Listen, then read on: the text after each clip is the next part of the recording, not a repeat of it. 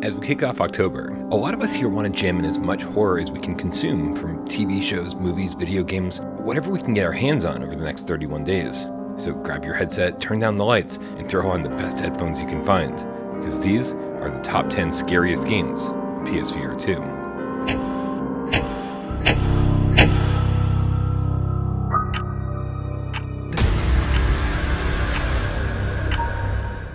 There was a lot of competition for the lower spots on this list, mostly because there's a lot of creepy games on PSVR 2 that aren't exactly super scary. Overdark is one of those games, but I'd argue it nails the unnerving feeling better than most of the games that ended up in the honorable mentions. I do wish it was even scarier, but even as is, you'll be looking over your shoulder while wandering around the semi realistic environment solving puzzles, and making sure not to move when the monster sees you.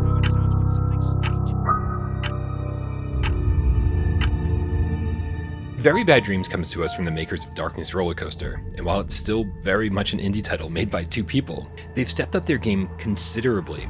There's some action sequences, stealth like sequences, and some sequences that are just downright disturbing. In fact, the developers have shoved so much into this one that if you're scared of it, it's probably in here somewhere. Spiders, dead bodies, undead bodies, and the cacophony of non stop twisted scenarios. Meaning, you should definitely check this one out if you like indie horror, and you can deal with a little jank.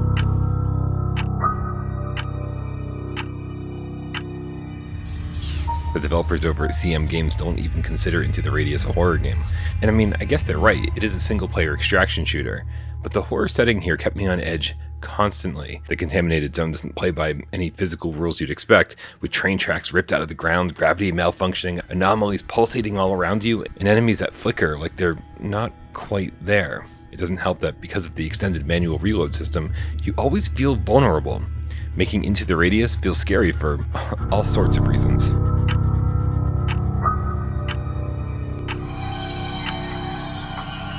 There were a surprising number of haunted house experiences on PSVR 1, but only Affected the Manor did the genre justice.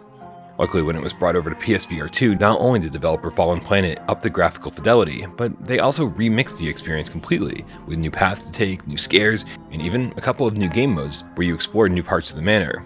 They almost never miss an opportunity to make you jump, with bats crashing through windows, furniture flying across the room, demonic children, all of which is exactly what you'd want from this kind of experience.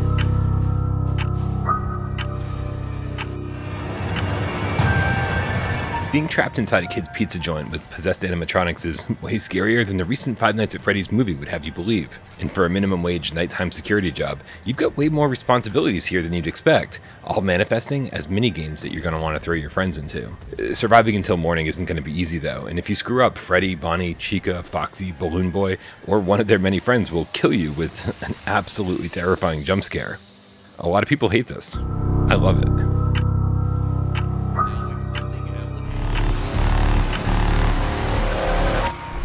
As the spiritual successor to Dread we were expecting great things from Cosmodread, and I think it's safe to say that the super small dev team over at White Door Games delivered. It's interesting how something like the addition of having two hands in the game, now needed to open doors, puts you on edge so much, especially on your first few runs.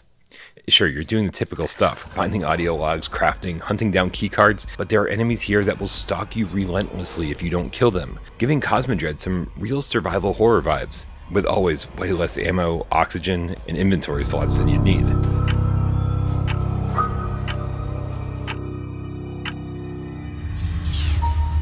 The Exorcist Legion VR puts you in the role of a Boston police detective investigating a series of crimes, and these are some seriously disturbing crimes. Other than an exorcism kit you find during your first investigation, you're unarmed and pretty vulnerable to the demonic presences you encounter. As someone who grew up in the Catholic Church, this is the kind of stuff I was warned not to fuck around with from an early age. Demons, possessions, Satan, which is probably why so much of Legion VR shook me to my core.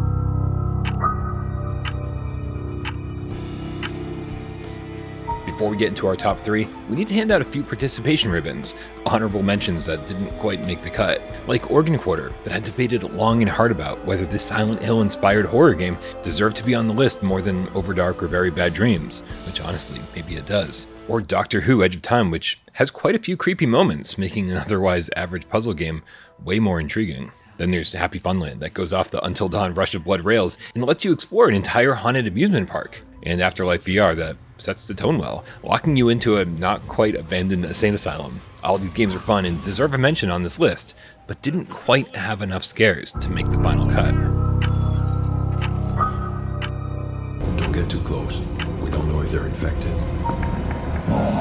Zombie games have never been that scary to me, but that's why Propagation Paradise Hotel was such a surprise. You're locked inside a hotel, and the hallways of this place are soaked in blood and littered with seemingly endless numbers of incapacitated zombies that could spring to life at any moment, making it terrifying just to walk along the creaking floorboards.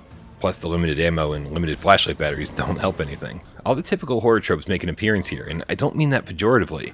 The developers didn't hold back at all with this one, making it one of the most fun, but also one of the most terrifying games in VR.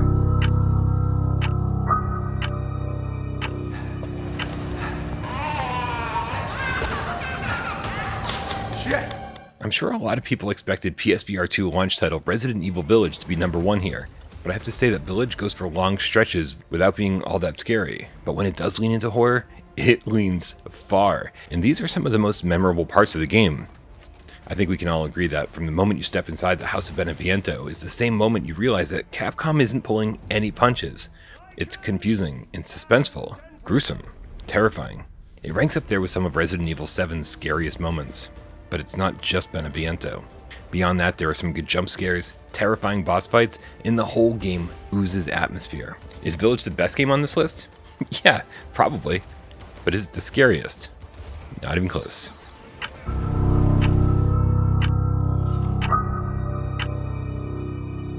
Walks among us.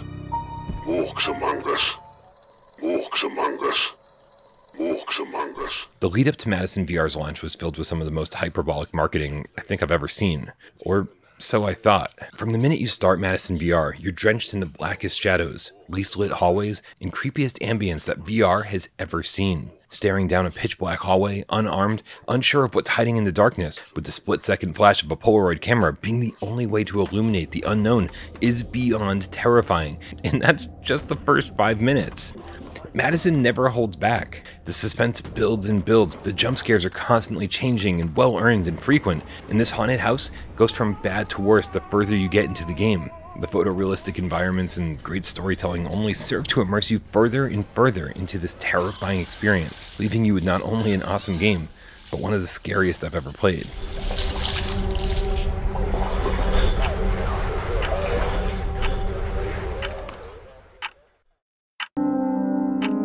I really wanted to kick off October by sharing this list with you, but also knowing full well that by the time October is over, we'll be playing Phasmophobia and the Arizona Sunshine remake, and then soon after we'll be getting a whole new batch of horror games in the form of Affected the Asylum, Numata, Alien Rogue Incursion, and Slender the Arrival, all hitting PSVR 2 within the next few months.